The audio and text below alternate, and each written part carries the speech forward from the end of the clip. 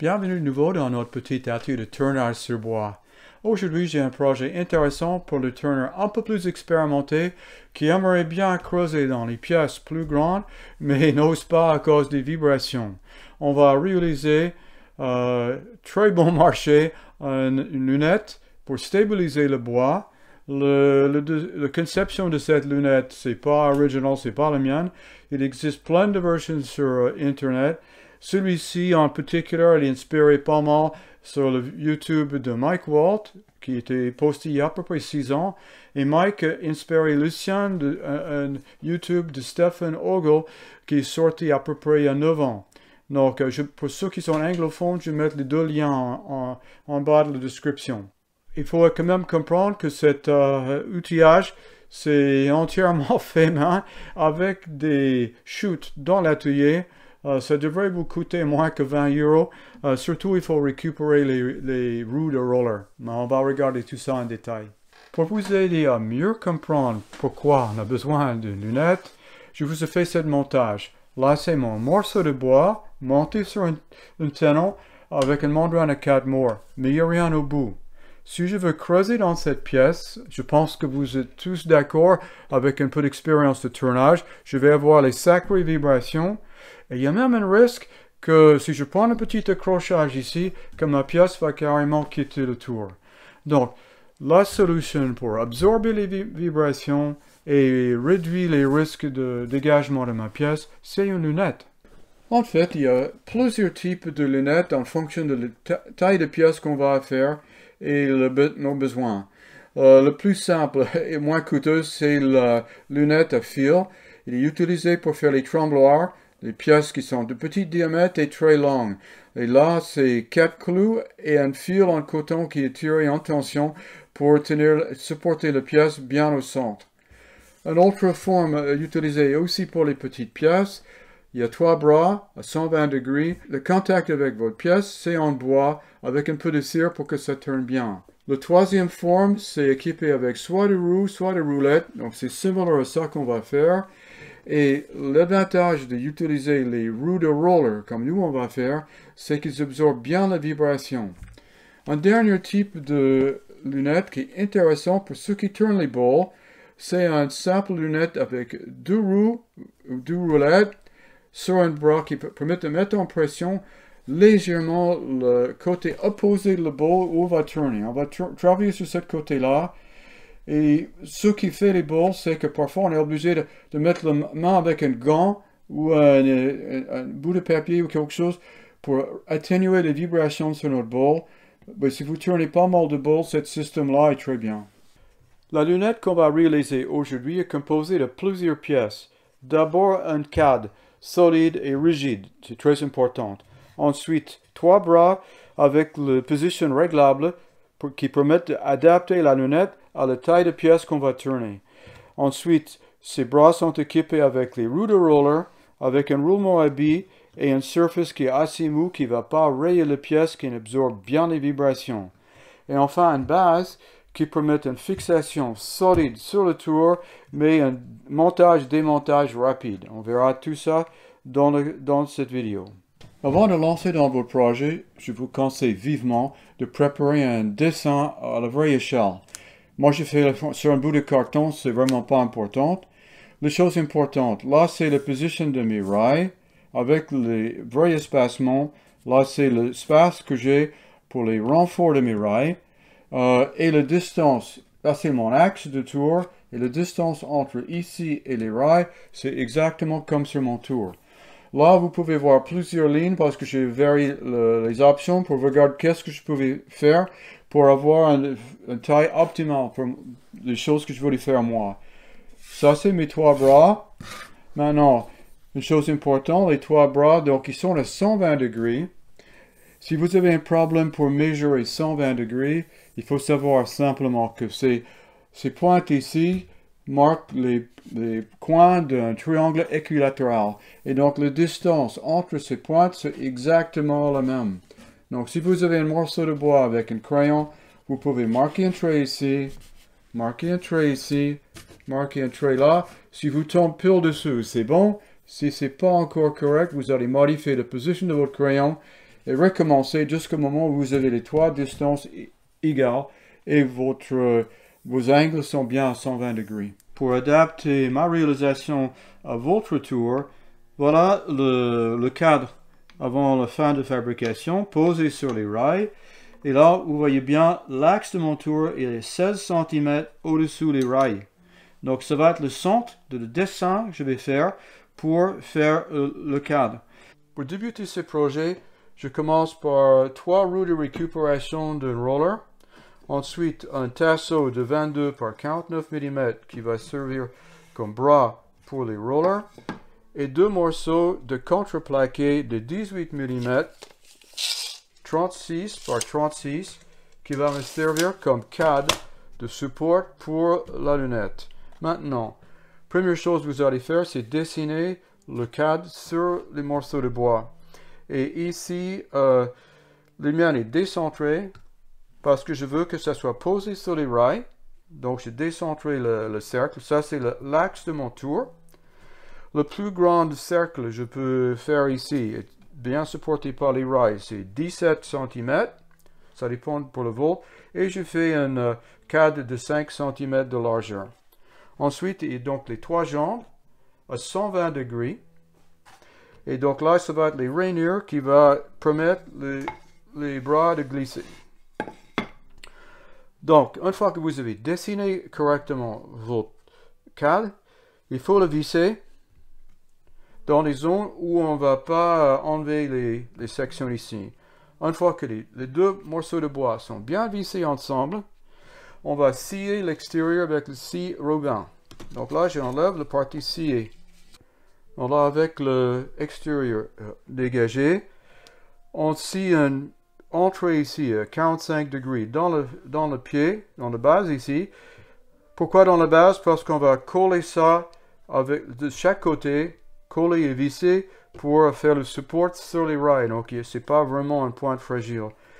Je perce ici un trou de 12 mm de diamètre. Ça me permet d'entrer dedans avec le scie ruban. Terre le scie comme ça pour scier l'intérieur. Là, je vais donc scier tout l'intérieur.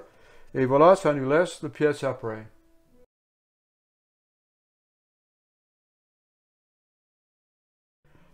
Ensuite, vous allez diviser les, les, morceaux ici pour avoir les deux anneaux.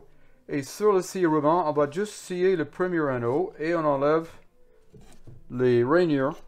Voilà pour les, passages pour guider les, bras. Après, vous allez mettre le col et visser de nouveau les pièces dessous et laisser sécher. Voici le cadre de ma lunette. Après une nuit de séchage, le cadre était collé avec du col bois extérieur blanche. Euh, les pièces, les deux moitiés étaient vissées et collées. Et après, j'ai mis des clamps pour bien serrer pour la nuit. Pour la prochaine étape, il faut qu'on prépare les bras qui va tenir les roues. Donc là, j'ai remis la pièce centrale pour juste trouver le centre. Et j'ai posé les trois roues dans la position la plus serrée. Donc là, si je regarde ici, je me donne 2 cm de matière avant l'axe de ma roue. 18 cm, c'est correct. 18, 19 cm pour une longueur de bras, c'est parfait et ça me permet après d'éventuellement changer pour les roues de plus petit diamètre. Autre chose, on a besoin d'usiner une fente dans notre bras pour permettre de régler la position de roue. Donc, la longueur de cette fente par rapport à l'axe de mon roue, le fente le plus long, si je mets le trou au centre, va être 10 cm. Je dirais 11. Donc, on va faire une, euh, en longueur de fente 11,5 12 cm en, longueur par rapport à la position de mon, mon axe.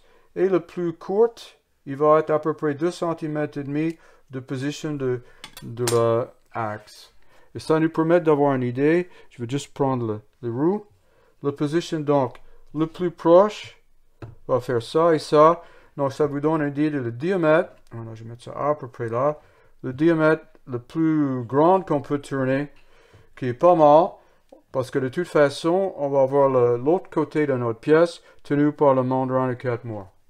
Ici, je vous ai préparé un pré-montage de ma lunette, donc le cadre avec les trois bras montés. Je vais démonter un des bras pour vous montrer comment c'est fait. Tout la visserie ici, c'est M6. La roue donc est fixée avec un trou ici de 6. Euh, il y a deux rondelles entre la roue et le bras. Et il est tenu en haut avec une rondelle et un écrou indésirable. Comme ça, il ne va pas partir. Donc ça tourne bien. Le réglage en position est réalisé avec une fente. Le fente était faite avec une fraise de défenseuse montée sur un tour colonne. Un morceau de bois est utilisé comme guide pour assurer que je faisais une ligne droite. Pour euh, le montage sur le câble, fixez ça. De l'autre côté, pour rendre ça plus facile à régler de position, j'utilise une rondelle et un écrou à papillon. Pour la fixation sur le tour, je colle deux morceaux de bois de 5 cm de large par 4,5 de haut et il fait 14 euh, de large. Je les ai pré-percés avec un trou de 8 parce que je vais utiliser les visseries M8. Une dernière chose pour terminer cette partie du projet, il vous faut un morceau de bois un tout petit peu moins haut que l'épaisseur des rails. Et la largeur devrait être juste pour que ça glisse dedans sans problème. Cet morceau-là va être collé en dessous ici pour permettre un euh, montage facile euh, et précis de notre système. Voilà le morceau de bois, donc il va servir comme guide pour les rails. Il est bien collé. Maintenant, une petite euh, remarque. Avant de serrer les deux serre-jointes à max, j'ai monté le roue supérieur de mon, système et je posais tout ça sur le tour. Et donc ça m'a permis de vérifier l'alignement avant de serrer à fond. Et là, ça va, ça va être bien précis. On va laisser ça sécher. La dernière chose à faire ici, c'est de repercer dans mes trous de 8 ici pour juste percer le fond. Voici une petite astuce que j'ai pris de Mike Walt. Euh, pour euh, rendre le montage de votre système sur le tour plus facile. Euh, plutôt que de faire les disques ici qu'on enlève et mettre dessous pour clamper ça sur le tour, on a, il a produit les espèces de cam. Donc, on tourne une ronde sur le tour, après on scie les deux côtés. Donc, quand vous mettez, ça sur le rail, ça rentre facilement. Et une fois sur les rails, vous twistez comme ça et vous serrez de l'autre côté et le système est bien stable. Avec cet angle de prise de vue, je pense que vous pouvez bien voir le problème. Là, c'est donc les bouts de mes rails. Là, c'est le cam en position euh, fermée. Je peux rentrer sur les rails. Ensuite, on va tourner dans position ouverte. Voilà. Et là, il est bloqué. Je peux serrer ici et mon, mon système va être bien tenu sur le tour. On va parler un tout petit peu sur le problème de mise en place de la lunette une fois que vous avez tourné votre pièce. Donc là, j'imagine que vous avez tourné l'extérieur de votre pièce entre pointe. Donc il n'y avait pas de problème de vibration. Et on va voir comment régler la, lunette pour que la pièce va tourner bien ronde. Maintenant, pour voir la situation d'alignement, je vais regarder ici en détail. Je vous invite à regarder bien ici.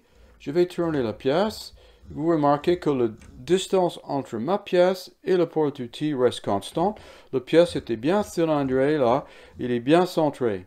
Maintenant, euh, à l'œil, c'est suffisant pour tournage sur bois. Le mécanicien il utilisera certainement un comparateur pour mesurer la distance avec beaucoup plus de précision.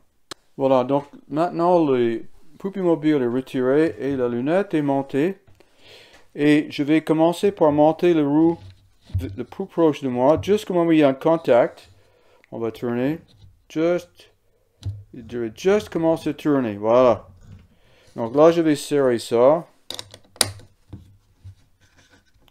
On monte le roue derrière de la même manière, juste comme il y a un contact. Voilà, il tourne, c'est bon, et on va serrer. Donc, une fois que les deux roues en bas sont en contact, vous allez descendre celui en haut et mettre un tout petit peu de pression. Ça doit être suffisant. Tous les roues tournent. on va vérifier le centrage. De nouveau, on va regarder ici maintenant. Et vous pouvez bien constater que ma pièce est alignée. Là, le tour tourne à 1300 tours par minute et vous pouvez remarquer que la pièce est bien centrée, il ne bouge pas par rapport au porte Eh bien, notre projet est terminé. Je trouve ça pas mal. C'était pas cher et relativement vite fait. Hein. À mon avis, vous devrez être capable de sortir ça dans un petit week-end. Moi, j'ai hâte de tourner avec. Si vous avez encore les questions, n'hésitez pas à les poser dans les commentaires. Et avec tout ça, je vous dis au revoir, à bientôt et bon tournage.